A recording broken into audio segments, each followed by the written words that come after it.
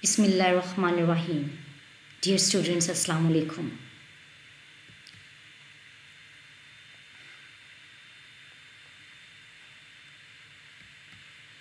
I am Mrs. Zarina Aslam, Subject Specialist of Pakistan Studies at Divisional Public School and Inter College Sahiwal. I welcome you all in today's online class. Dear students, hope you will be fine. Uh, let's start our today's lesson.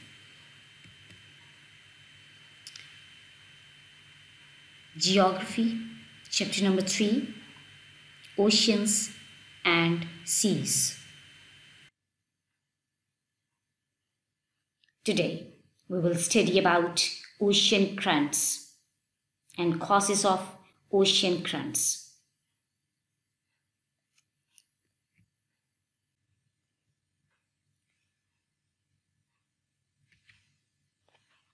Learning objectives of today's lesson. By the end of the lesson, you will be able to define ocean current, differentiate between warm currents and cold currents with the help of different examples. Describe the terms fog and drift. Identify the major causes of ocean current circulation and explain them.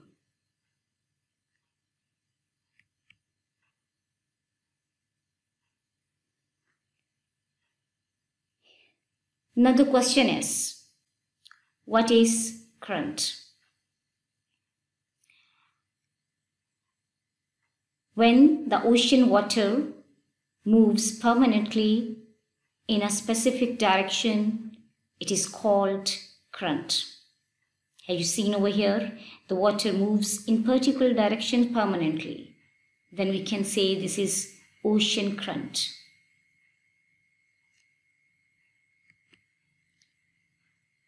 Equator.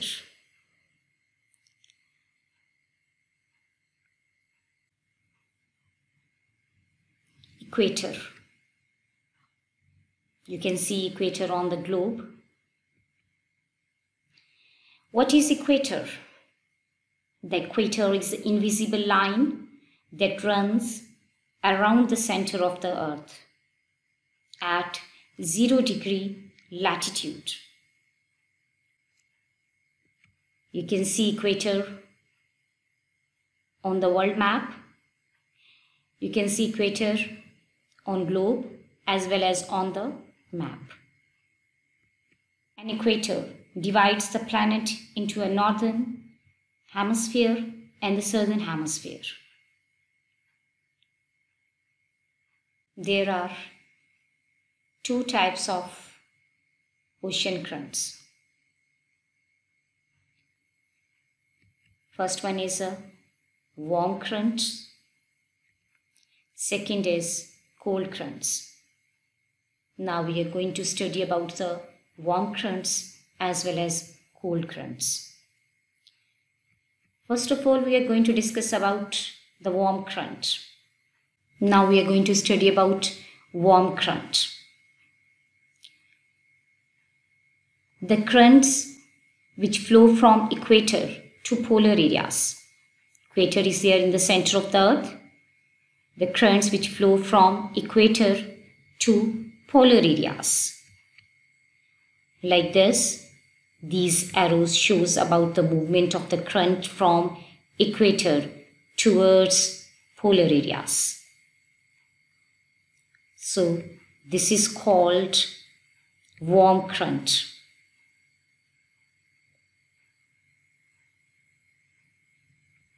Next one, we are going to study about the example of the cold current.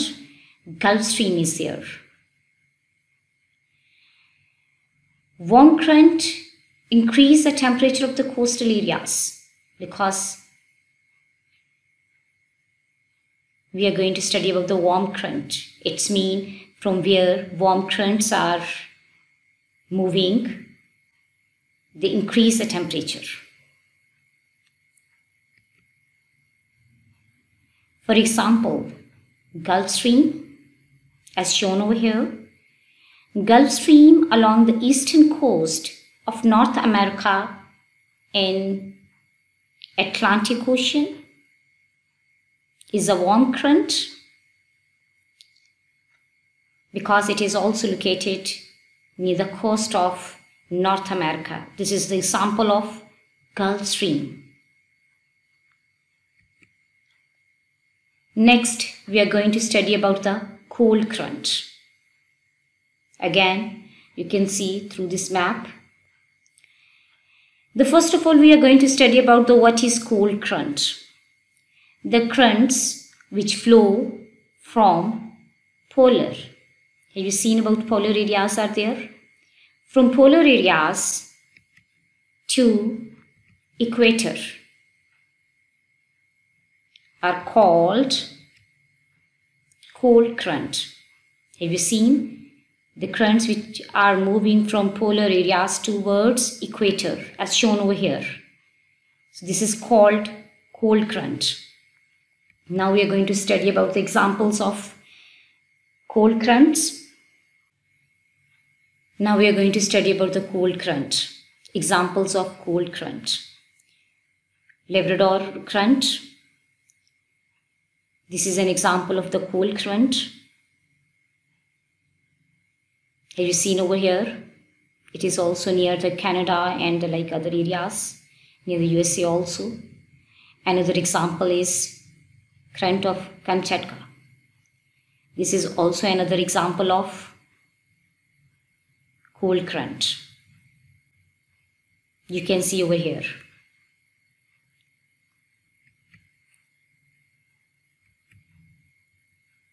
Define hemisphere. Northern hemisphere, southern hemisphere.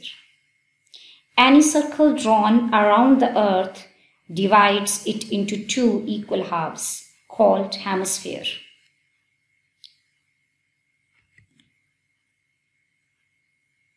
Two hemispheres are shown over here. Northern hemisphere, southern hemispheres. The equator or line of 0 degree latitudes divides the earth into northern hemisphere and southern hemispheres.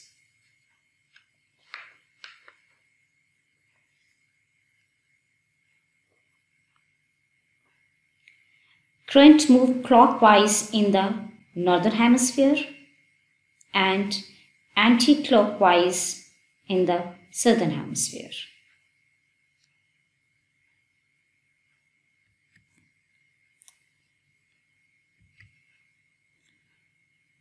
Identify this. Think about the situation. You can see during the winter season. So this is fog.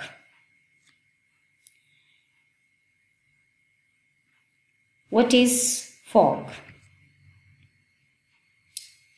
Fog is a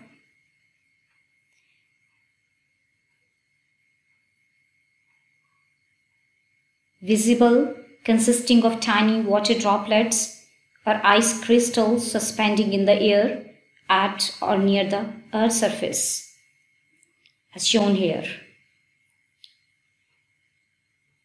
So, where warm current meet cold current, fog is produced, which is harmful for the sailing ships. So, now is it clear? When the warm current meets with cold current, then we can say fog is produced. So when in winter season, this type of situation is created.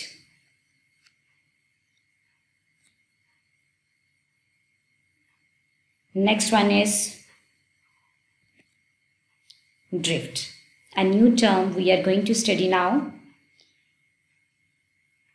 Drift. Drift, a large current forming by the joining of the two currents is called drift. In simple words, when a large current is formed by joining the two currents, so then we can say this is drift. Now we are going to study about the causes of current circulation. There are several causes of ocean currents, but today we are going to study about three main causes of ocean circulation. Number one, permanent winds. Number two, temperature of the ocean water. Number three, salinity of ocean water. Then we are going to discuss in detail one by one.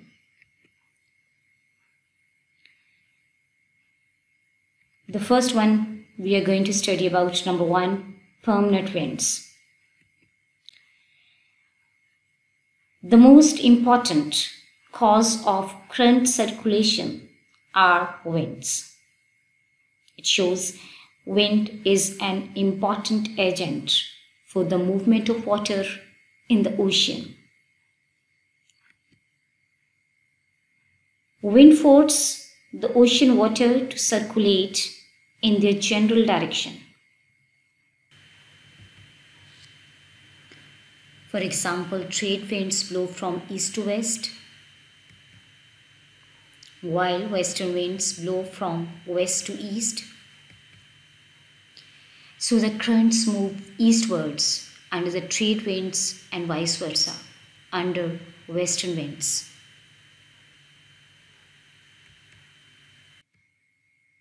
We are going to study about the second cause of ocean circulation. Number two, temperature of the ocean water. Temperature difference is another cause of current circulation. Warmer water of equatorial regions moves upward while colder water of polar regions sinks downwards because warm water is lighter as compared to cold water. Cold water is more denser, so that's why it sinks downwards due to greater density. Next, we are going to discuss about the third reason of ocean circulation, salinity of ocean waters.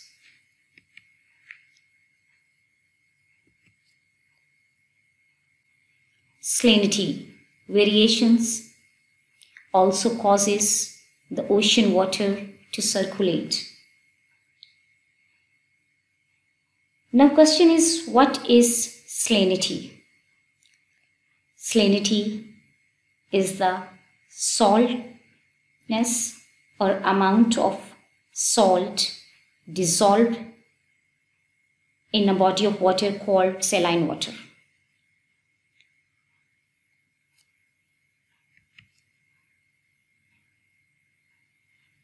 Water of inland seas is more saline than the water of open seas and oceans. So more saline water, due to its greater density, sinks downwards. While less saline water moves upwards, because it is less denser, these variations of salinity causes water circulation. Now it's a time for your assessment.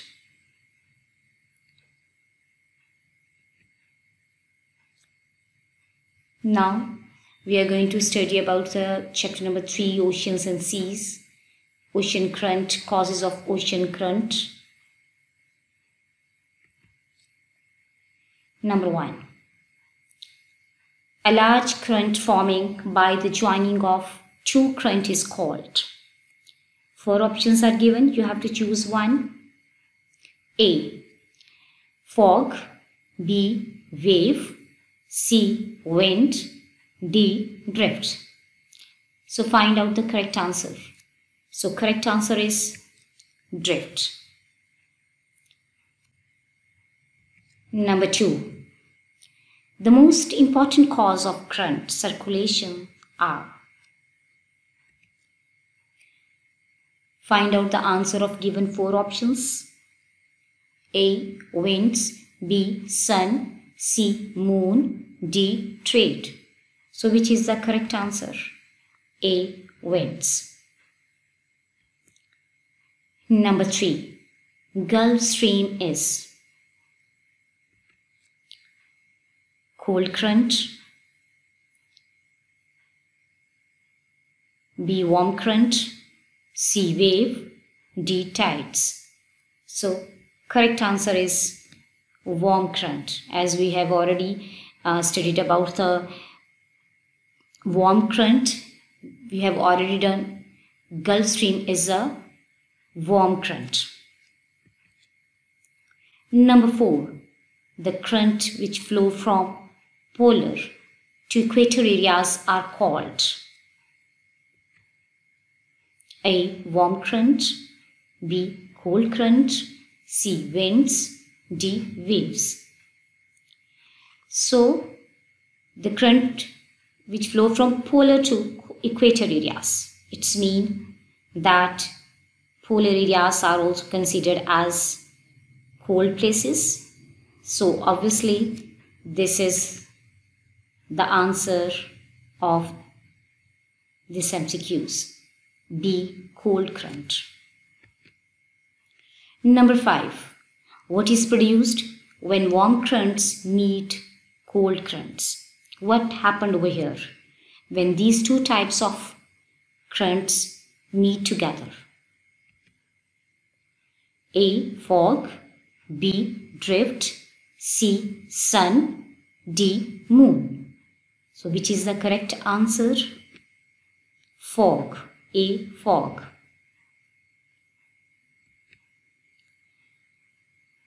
Now it's the time for your home assignment. You have to do on your notebooks.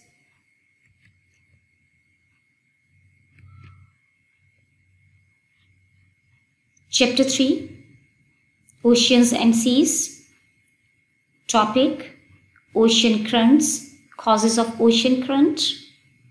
Read book page 27. Write and learn the answers of the following short and long questions.